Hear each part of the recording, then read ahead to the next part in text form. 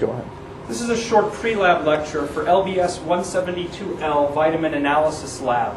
We're going to focus on the chloride and iodide anion test because they're tricky. They have to be run simultaneously.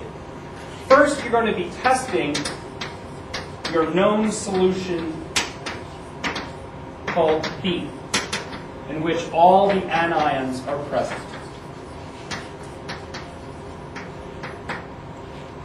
To this, you will add nitric acid simply to acidify the mixture.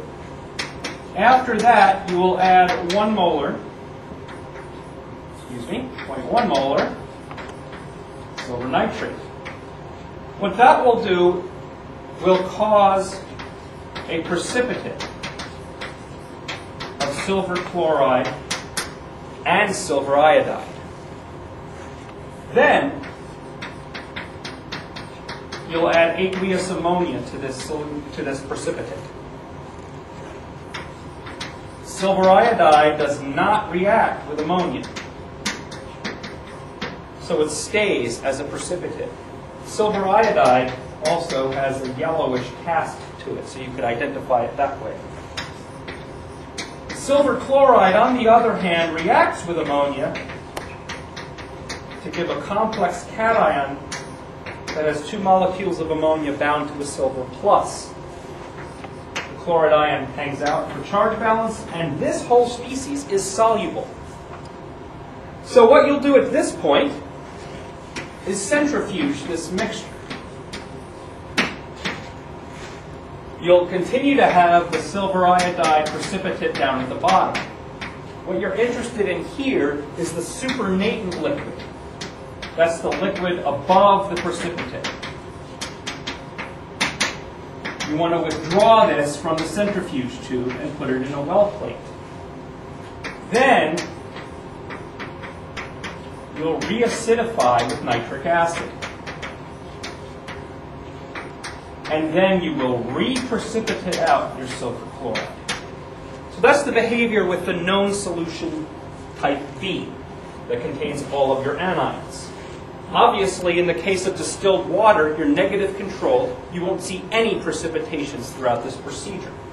So, how does this pertain to your vitamin analysis where you don't know whether you have chloride, iodide, both, or neither?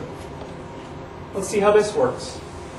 You'll take your vitamin solution that you made by treating your vitamin with acetic acid, heating, and then filtering. You will acidify it again with nitric acid. And then you'll add the 0.1 molar silver nitrate solution. At this point, if you have no precipitate, celebrate. You're done. You have neither chloride or iodide. If you have no precipitate, you're negative for chloride ion, and you have a negative test for iodide ion, and you can move on. Chances are your life won't be that simple. If you have a precipitate, you have three possible situations, and you don't know which at this point.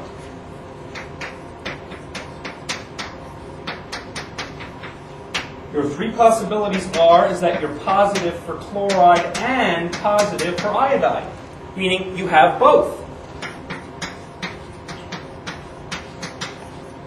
Or you could have just chloride and not iodide.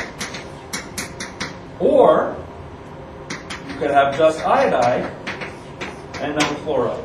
So let's look at this in a little more depth to see how to differentiate among these three possibilities.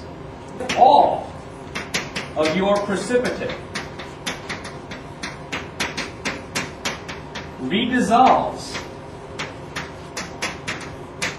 when ammonia is added. Given what you saw before, how silver chloride dissolves in ammonia, and silver iodide does not, if this is your case, all the precipitate redissolves, you know you have chloride, and you know you don't have iodide. If none or some of your precipitate redissolves, with ammonia, you're still not determinate yet. Well, you know you have iodide.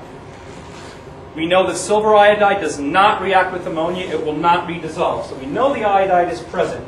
But at this point, we don't know if we have the chloride. So what you have to do then is centrifuge and withdraw the supernatant fluid again.